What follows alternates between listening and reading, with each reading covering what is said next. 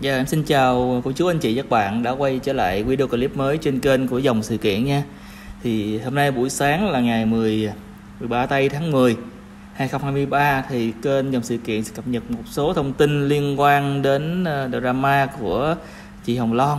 À, đặc biệt là sau khi mà em lướt thông tin trên một số diễn đàn và một số trang ờ, mạng xã hội thì lại bắt gặp một cái thông tin này khá đặc biệt và thấy cũng là khá thú vị về một cô ờ, cháu gái đây. Thà như cô đừng nói thì thôi mà cô hỏi cô phát ngôn ra là bị chửi. Không hiểu tại sao. Mà trong khi đó thì hồng loan lại ngược lại hồng loan không nói gì hết. Hồng loan chỉ dùng những hành động cử chỉ nhẹ nhàng đối với số anh em thôi là người ta đã yêu mến yêu thương rồi. Tại sao vậy? Thì ngày hôm qua trên trang cá nhân của cô ta lại có xuất hiện một cái thông tin liên quan đến cái chuyện mà mẹ thành mỹ mất cách đây 2 năm và cô ta đăng một cái bài viết về cái chuyện uh, tiếc thương, nhớ thương người người mợ.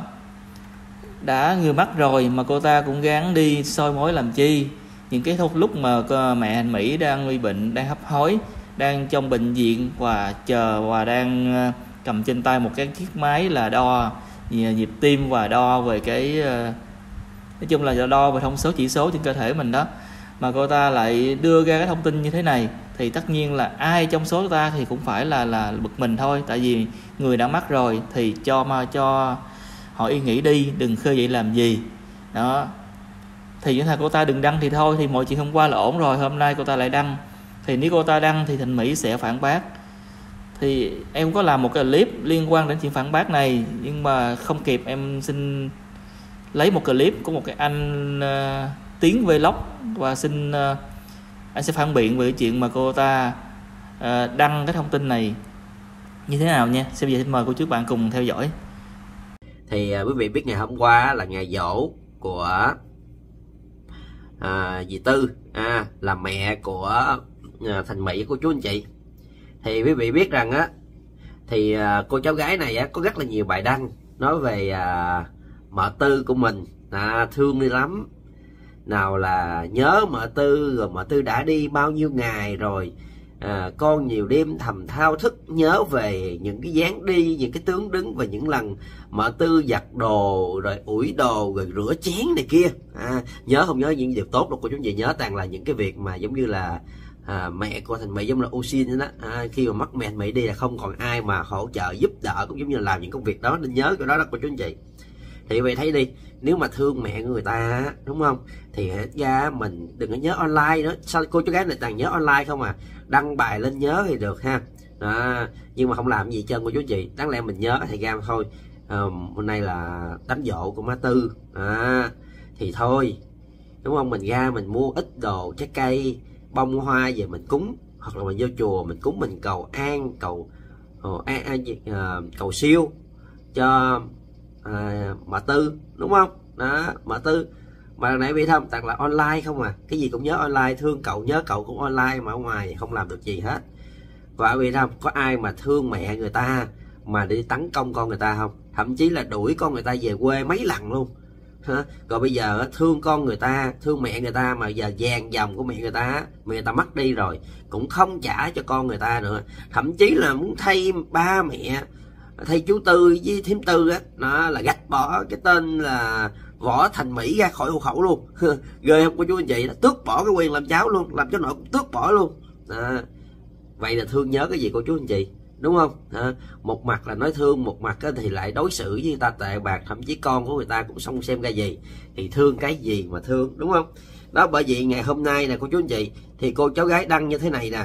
À, ngày này hai năm trước Mợ tạm biệt mọi người và đi xa, không ai được nhìn thấy mợ lần cuối.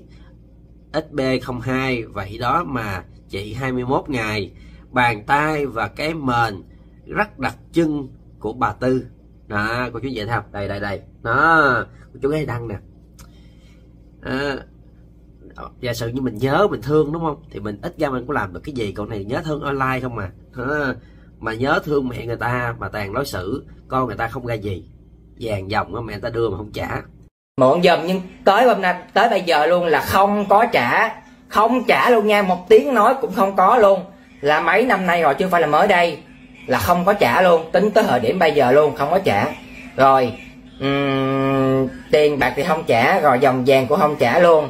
Rồi khi mà ở chung á thì uh, em nói đây chắc chắc là có lũ cần cờn con ở trong này đó. Em nói cho nghe luôn có gì cứ báo cáo lại giùm nha chứ cô không có thời gian đi, đi nói lại bên kia rồi thôi thôi tiền bạc dòng vàng không trả rồi không khi ở nhà thì chửi chửi la làng làm chút xíu là sai là không hài lòng là chửi. Chửi phải là chửi bình thường mọi người chửi mà nạt mà lớn tiếng lắm. Thì mọi người xem những cái cái cái cái clip mà được tung lên mà thấy la làng rồi chửi thì vừa cũng biết là là, là cái cái cái cái nết như thế nào rồi đó. Thì cũng chửi y chang như vậy đó. À, bây giờ thậm chí là còn muốn từ là gạch bỏ luôn. À, cái quyền làm cháu nội đích tôn của thành mỹ luôn mà thương cái gì của chú anh chị? Đúng không? Mà mấy người này ngộ ghê cho cô như chị là giống như là thương là giống như là cô cháu gái này cũng thương à, cố nghệ sĩ ưu tú vũ linh à, nhưng mà lại không thừa nhận con của cố nghệ sĩ ưu tú vũ linh là hồng loan. Bây giờ lấy đã thương mợ tư à, mà lại không thừa nhận con của mợ tư là cháu nội đích tôn của chú anh chị. Thâm muốn chính dành tài sản ngộ ghê ha. Cái này thương tiền thương bạc chứ giống như là thương cái kiểu mà ai mà có lợi cho mình thì mình thương. Còn ai không có lợi dù cho là con cháu hay chồng gì đó đều là không không đáng để nhắc tới. Vậy là thì à, lập tức á thì thành mỹ có một cái bài đăng như thế này. Để đáp trả lại cô cháu gái sự gặp em em cũng tức thôi. Thành mỹ nói như thế này là cô chú anh chị. Nay dậu mẹ của tao tao không muốn nói à, tao không muốn à, nói rồi. Mẹ tao mất rồi để cho bà được yên đi đừng có làm trò mèo nữa bà không có trứng đâu. Hình mẹ tao không phải để cho chúng mày úp lên bừa bãi như vậy nha. Mày nghĩ mày là ai? Còn chưa đủ tư cách đâu. Tháo hết tất cả về mẹ tao xuống trước khi có chuyện. À, thì rất là bức xúc thật sự. À, một cái người mà sống không ai gì đối xử với mình không tốt đối xử với mẹ mình không tốt mà cứ bày đặt đem hình của mẹ của mình lên để mà ăn mài tình thương giống như là nói là thương nhớ này kia thì em thấy rằng á, điều này rất là quá đáng. Em nếu mà em làm con đó nha thì thật sự mà làm cái đó là em điền là em chửi rõ ràng luôn. Em tìm tới tận nhà luôn tại vì mẹ của tôi mẹ tôi mất rồi anh chị có quyền gì mà lại lên mà lại đăng hình mẹ tôi như vậy? Đúng không? Xin phép tôi chưa? Đúng không? Lúc, lúc bà ấy còn sống á tại sao không thương? Mà khi bà ấy mất đi rồi mới thương. À, thương bây giờ mà tại tước luôn cái quyền rồi làm cháu của tôi nữa sao? Đúng không? Đó thương gì kỳ cục vậy? Bởi vậy quý vị thấy không? Tại sao thành mỹ lại tức như vậy là là thật sự quý vị không? Tới cái việc mà cái người đã mất rồi mà cô cháu gái này vẫn lấy, cô gái này rất là khoái lấy những cái việc mà mất mát của người ta ra làm để mà câu, làm cái đề tài cho mình, câu view, cho mình kiếm tiền của chú anh chị. Đúng không? Cũng giống như cái việc mà của cô nghệ sĩ ưu tú vũ linh đó. Bây giờ có nghệ sĩ ưu tú đã mất sau bảy tháng trời rồi mà lúc nào đi đâu cũng là à, gia đình ruột thịt cố nghệ sĩ ưu tú vũ linh. Một tiếng cũng là cậu hai tiếng cũng cậu này kia. Ủa bỏ ra cái từ mà vũ linh bỏ ra tiếng là cậu năm mình ra đi làm như là mình mình mất địa bàn mình không còn là ca sĩ hay là mình không còn tên tuổi hay gì á đúng không? Bởi vì đâu cũng bám víu heo hết trơn cô chú anh chị. Thì anh luật gia anh luật gia anh có chia sẻ như thế này nè cô chú anh chị. Anh luật gia nguyễn gia việt anh nói như thế này. Thấy sợ quá. Mẹ người khác cần gì em khóc dùm kiểu thương à, vay khóc mướn. Người chết mà em cũng lôi ra làm đề tài cho mục đích gì đó của nửa em nữa sao. Em chờ mẹ em chết đi rồi lấy ra thương vay khóc mướn. Chờ mẹ em chết đi rồi dành tài sản. Chờ chồng chết đi rồi ký hợp đồng truyền thông kiếm tiền đám ma. Hết đường rồi bản chất rê thiệt. Nghĩ tội cho bạn dắt xe ờ, sao ở được với người có tâm cơ như vậy? Không biết học hết lớp mấy nữa. Đó của chú anh chị, nói như đây thôi, ngắn gọn thôi mà chúng ta xúc tích quý vị không tới cái việc mà cái người đã khuất rồi mà còn lấy ra làm đề tài để mà giả bộ lên thương nhớ để mà khịa thành mỹ nó thì con người này nó sống như thế nào của chú anh chị? Đúng không? Làm gì có tình có nghĩa. Tại sao ngày hôm nay mình bị như vậy là cái quả báo đó? Mình mình gieo nhân nào, mình gặp quả đó, mình gieo quả mình gieo ác bây giờ mình gặp quả đó có chú thấy rõ ràng không tại sao mà bây giờ hồng loan càng được nhiều người yêu mến, càng được yêu thương? Và buôn bán hàng thì bán đắt như tôm tươi, còn mình bán. Mà mình lên mình nổ không ai tin. Ngày năm sáu trăm tô này kia. Đó. thật sự ra quý vị không? Hai bên là hai trường phái khác nhau rõ ràng. Chúng ta thấy được là những con người bên đây á, họ bất chấp tất cả mọi thứ, từ lương thường đạo lý để mà đi tranh giành, thậm chí lôi cái người đọc khuất ra để mà làm đề tài. Quý vị thấy không? Hết lôi chú vô quán bar xong rồi lôi chú qua tiệm bún bò.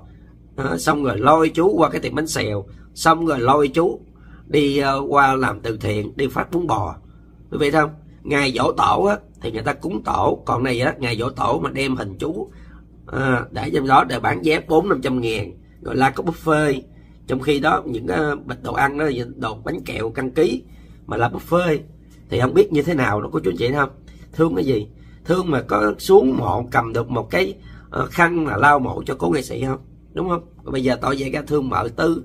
Thương mợ tư có đi chùa mà dạng như là cầu siêu cho mợ không? Hoặc là cúng một cái mâm đồ ăn ngay cái ngày dỗ của mợ không? Thương là thương online không à nhưng mà lấy người đọc hút ra để mà làm đề tài để khịa con người ta. Giống như mọi, mấy lần cô chú anh chị, thấy hồng loan nhớ ba của mình. Đó, thì hồng loan ờ, đăng hình ờ, hồng loan với ba mình thì bên đây cô cháu gái thấy vậy cũng đăng hình. Y chang vậy luôn. Chứng tỏ một điều gì? Không phải thương. Bên kia người ta là con nhớ ba con này là con nhớ cậu. Trời ơi cái người đã khuất rồi để cho người ta yên. Đúng không? Giả sử như mình thương á tại sao bình thường vậy nè? Không đăng hình nhớ thương đâu. Giả sử như giờ đi hồng long mà đăng cái là cô cháu gái này đăng liền. À, bởi vậy quý vị không? Toàn là ganh ăn tức ở không có chú anh chị. À, cái giọng em nó hơi bị đau cô họng nên cô chú anh chị thông cảm giúp em nha. À, thì bây giờ em sẽ cho cô chú anh chị chúng ta cùng nghe cô chú gái này nói gì nha cô chú anh chị. À trước khi vào bằng cô chú gái này thì quý vị thấy không?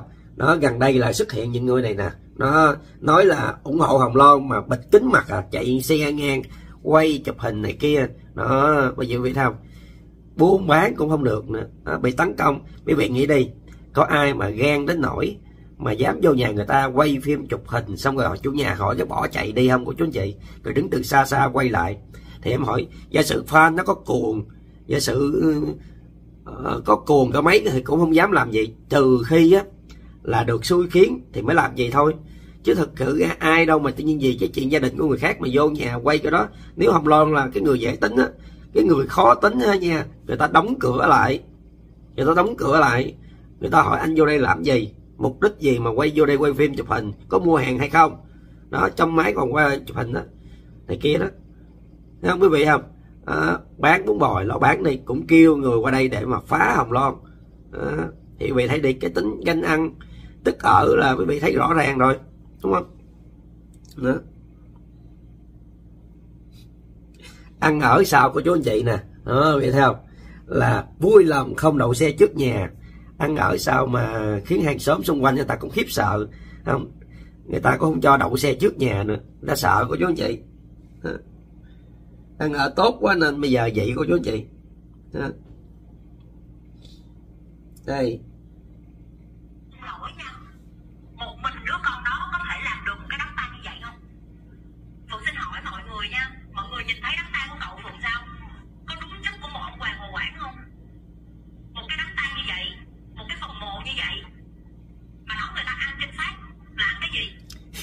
Vậy không một cái đám tang như vậy giống đúng chắc ông hoàng ở quảng không?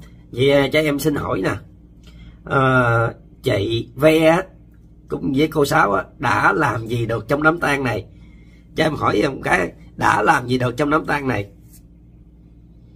Ờ, à, kêu mọi người đến đây để thắp hương cho chú hả?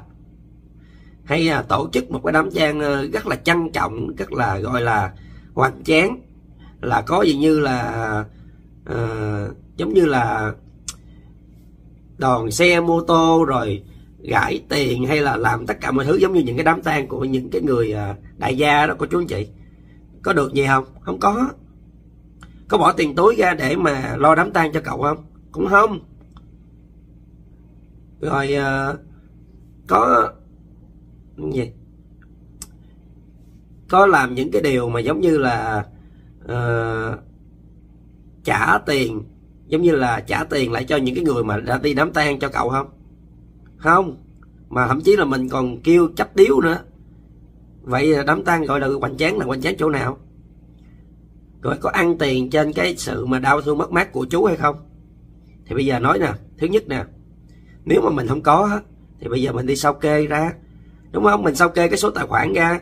Thì nó rõ ràng rồi. Thì lúc đó mình minh bạch rồi. Mình nói chi chừng nào mình mình chứng minh được mình trong sạch đi thì mình mới minh bạch được. Còn bây giờ mình không chứng minh được mình trong sạch làm sao mình minh bạch được? Bây giờ người ta thấy đó à, trước khi mà làm mộ cho cố chốn cố nghệ sĩ á trước khi mà cố nghệ sĩ mất á đó thì than không có tiền phải đi chạy vậy để mà đi mượn tiền để mà xây mộ để mà mua mộ. Cái này là mượn tiền sau đó là tiền của mọi người đóng góp vào để trả lại chứ không phải là tiền mà mượn rồi là mình trả nha. Nó nó, nó khác nhau hoàn toàn.